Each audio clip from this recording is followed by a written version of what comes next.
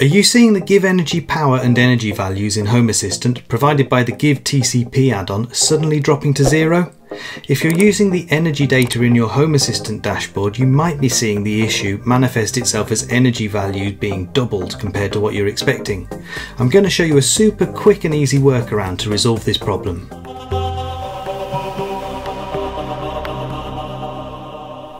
If you don't know what GivTCP is, it's a set of scripts which have been turned into an add-on for Home Assistant and a Docker container, which gives you direct local access to your GivEnergy inverter.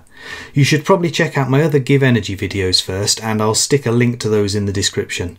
Anyway, this video is specifically about an issue that a lot of people are experiencing when using GivTCP with Home Assistant. Have a look at this graph.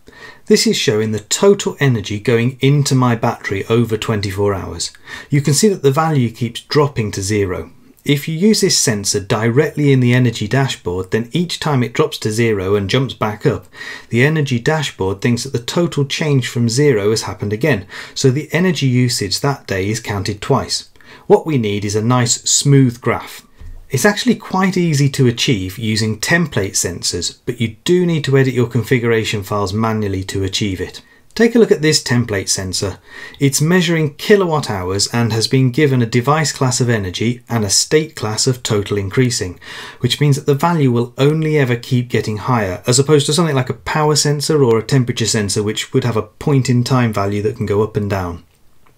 The state of that sensor or its reported value is calculated by checking to see if the real sensor, the one we have a problem with, has a value of zero. If it does, we just use the template sensor's last known value as the current value. If the real sensor's value is not zero, then we grab that and use it as this filtered sensor's value.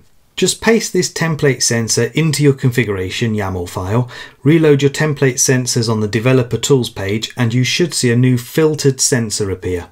Now you can use that sensor in Home Assistant's energy dashboard with no further problems. I suggest that at a minimum you create a filtered sensor for both the battery energy in and battery energy out sensors. But if you're using GivTCP to monitor solar and grid too, then you can apply the same workaround for those. Here's another little tip. I suggest that you wrap that filtered sensor in a utility meter helper that's set to a daily cycle.